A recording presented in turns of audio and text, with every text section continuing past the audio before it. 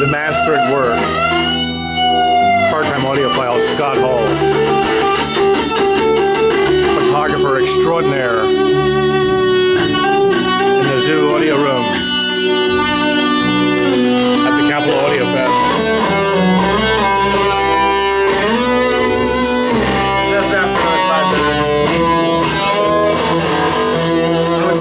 And all alone, I love it. I mean, you wake up and you're like, yeah, I just had a bath. It feels awesome.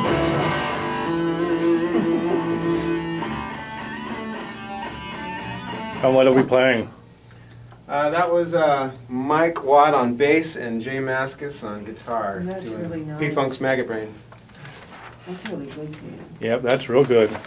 Which speakers are these? What model? These are the Definition Mark IV. Mhm. Um, it's our flagship for the everyday guy. Mhm. And uh, we've got built-in subwoofer, powered from 30 hertz and below, so it's sub-contrabass. You've got two of our full-range drivers, and they, they operate, for, for the most part, 90% of the bandwidth. Mm-hmm. And then we have a Radian 850 Super Tweeter that's sandwiched into the bulkhead of the, the baffle area, and that takes from 10K and up.